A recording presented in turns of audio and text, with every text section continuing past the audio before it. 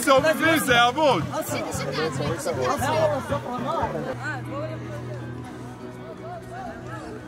אבל כולם, כי אני רואה אתכם. גם אתם, אבל זה לא הכל, כי יהיו במ- יהיו במופע הזה דברים עוד יותר ביחד.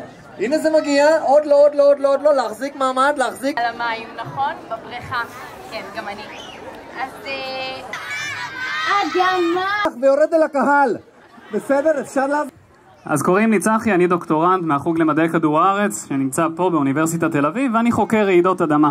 אז באתי לכאן דרך כדור הארץ ואנחנו קולטים אותם, זה הגלים שאנחנו מרגישים. קולה. אוקיי, שתי פחיות קולה. גם אם אני אזרוק את הפחית השנייה באותה הצורה, היא גם תשקע, נכון? וזה בעצם מה שגורם לצפיפות של המשקה הזה להיות הרבה יותר גדולה מהצפיפות של מים.